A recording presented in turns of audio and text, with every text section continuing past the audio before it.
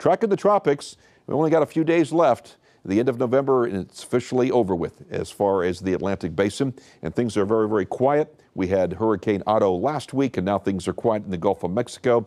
The Western Caribbean, Jamaica looks fantastic. So does the Western Atlantic. We do have this is actually a front that's kind of washing away. That's pushing from central Caribbean into the eastern island chain. So you can see the Lesser Antilles looking at some very heavy thunderstorms, but this is non tropical. Once this moves by and heads off to the east, it will kind of gradually fall apart.